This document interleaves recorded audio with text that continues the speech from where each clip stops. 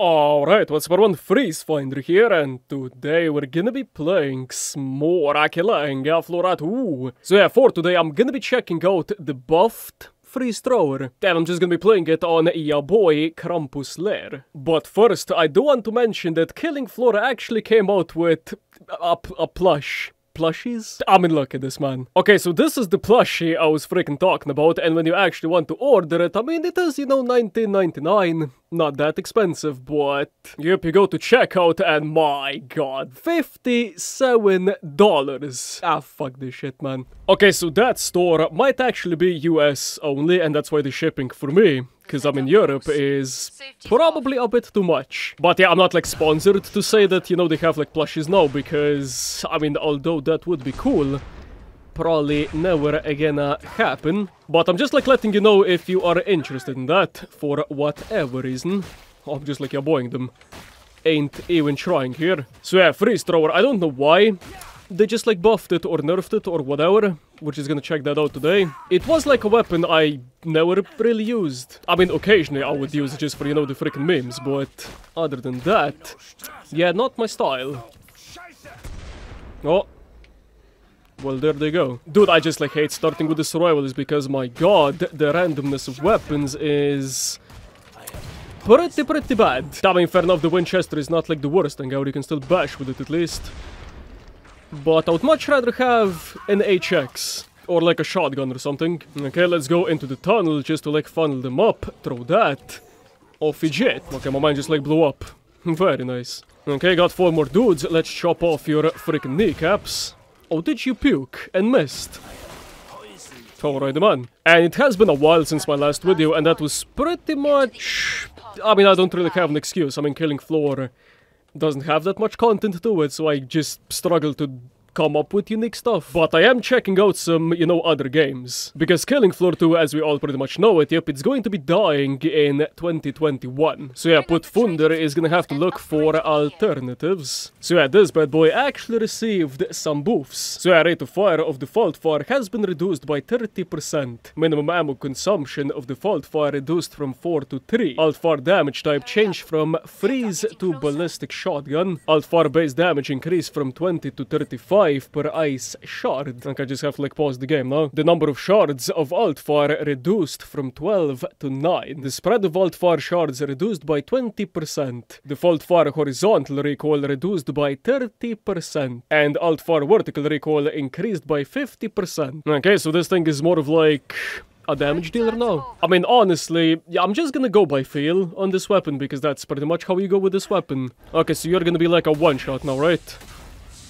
Nope, not really. I mean, fair enough, they did say it's now a ballistic shotgun type. Okay, boy. Okay, you can still bash with it, so that's always pretty nice. Oh, I mean, it still freezes like the same. I thought they were just gonna like ruin that for some reason. Oh, I can feel like the recoil when you shoot with the alt fire. That is a little bit... Well, yeah, on the bad side. I mean, it's still a good-ass freaking weapon. You can just like freeze pretty much when you click at something. So that's always cool. So yeah, the freeze thrower, yeah, this weapon was always just a support weapon. And you could occasionally kill some big things. But for me, this thing was always... Well, just unreliable for some reason. Okay, we got some stalkers. Can I freeze them up? Nope, just gonna bash him instead.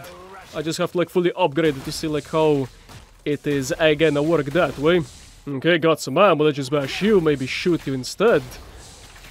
Dude, this thing just feels like a freaking shotgun. Okay, let's just go in, freeze everything up, adjust like that, maybe shoot the siren. Cause she do be annoying. Okay, how many shots do you take? Like, I think I like shot him before, so that doesn't really count. Dude, I hate when he just like blocks, he just like blocks. Well, yeah, the freeze. Ooh. Yep, Spooder just got void. So yeah, with the survivalist, yep, this is I mean, if it suits your playstyle, it's a very nice Farrican weapon. The biggest question for the freeze thrower is going to be how well it's going to perform against Scrakes and Fleshpounds. But yeah, like I said before, I'm not entirely sure how this weapon was like performing before this buff, so you guys can let me know. Okay, that's not too bad.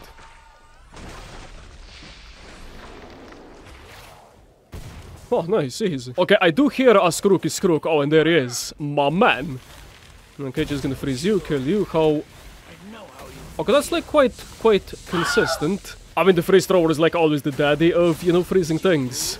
I mean, the Frostfang was in the lead by a little bit. So yeah, the alt fire doesn't actually freeze anymore because they changed it from freeze to shotgun. So yeah, beforehand, this alt fire actually could, you know, freeze some things. But how it is currently, yep, it cannot anymore. So do keep that in mind. Okay, bloat. No, and he's just like blocking my freezy bits. Yeah, it's actually a viable weapon, I feel. Boy. Okay, that was like a little bit too... too close to him. Okay, just like shot something else. But I still don't know how I feel about this weapon, to be quite honest here. I mean, Killing Floor, it is just like that game that every single weapon can be viable if you just, well, yeah, play in a good group. Or you're just like good to the game by default. So yeah, do let me know in the comments how you guys feel about the current Freeze thrower. Okay, Spodder Plus. Okay, just gonna throw that. Uh, just in case. Oh, it's a Skrooky Skrook. Not sure how he got, you know, like raged. But I mean, there he goes. In Pepero, I'm just like stuck. But yeah, pretty much the stuff you don't need to freeze. Yeah, just don't even bother freezing them. But I mean, for little things, I mean, go right ahead, because it's just going to be like like three taps and they're dead. Okay, so if I just like shoot you with this, it does take like what, three of my ammunition away. And if I shoot with the alt fire, yep, it takes 10. So yeah, the alt fire, yep, it stayed the same, but this one, instead of using four, it only uses three when you just like click with it. So overall, is the freeze thrower worth it? I'd say yes. Okay, let's just go into my favorite uh, camping spot, which is uh, right up here. I mean, to be fair, this spot works way freaking better in a group. But even in solo, yeah, you can just like jump in the hole. Hopefully I'm not gonna die here because that's going to be quite, quite depressing. But I guess uh, we shall see. Oh, this thing's a freaking damage dealer. I mean, fair enough, it's not meant to be shot at range. But what can ya do? It just feels like I'm playing the Firebug. But instead of, you know, burning them up, I'm freezing them up. I still don't know how ice shards are supposed to be like a shotgun projectile, but a sure thing. I mean, it works. Is? Oh my, can I freeze the EDAR? Can I freeze the EDAR? No, I can't. Oh, he actually got frozen. nice. Oh, that's a lot of Usk. And I just like threw a healing grenade at him. Not like that's gonna do anything. Never mind. Okay, we got a couple of Fleshpounds. Can I actually freeze you before you're gonna run away? Oh, I got like sandwich from behind. Okay, time to... Will you move a little bit? Yeah, boy. Oh, no, man. Ow. Let me out. Yep, not sure exactly why I just like pulled out a knife. But I did. Okay, quarter point. Okay, there we go. No, and my man just killed my quarter point. Fleshpound plus, we can talk about this over like some cup of coffee or something. Okay, you know what? I'm just gonna freeze your ass. And maybe even the Skrook. Oh my god, they just don't give up. Oh. But yeah, this thing, once you actually will like have like a group of Fleshpounds and they're like raging at your ass, it's suddenly not that good. Oh my god, I just got like three more Fleshpounds, they just like killed everything else. Okay, time to freeze. Okay, I killed like one. And I just ran out of ammo. Okay, can I actually kill you without even freezing you up? Probably. Okay, one shot. And I missed. That way I didn't miss, just didn't kill him. Okay, freeze you up, come on. And he just like raged. Minor setback. I mean, they still got clapped. So yeah, this thing extremely good in a 1v1 situation, but one versus like two or three, yeah, you're better off having other weapons. Okay, so that's that autofill, and I feel like the freeze thrower by itself is going to be quite depressing. So I'm just gonna get, I know, the kaboom stick, and we should be good to go. Well then, which unlucky boss is it gonna be? Oh, Patriarch. Oh, this dude can be frozen. Yep, this is gonna be pretty, pretty easy. How do you have that already? No, and he's just like blocking my... my freeze bits and up he comes. My god, man. But can you not, like, freeze the dude?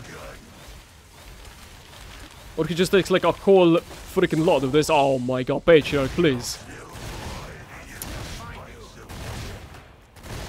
Wait, what? Oh, I can see his, like, freaking meat. And there he goes, Patriarch, man. So obviously I was playing solo here, but in multiplayer, yeah, this thing is surprisingly good. And I do actually recommend you guys going and trying this weapon out because, well, yeah, like I said before, yeah, I just don't know how I feel about it yet. But yeah, this is pretty much it. Hope you guys enjoyed, and if you did enjoy, then be sure to leave a like, subscribe, and see you guys next episode. Adios.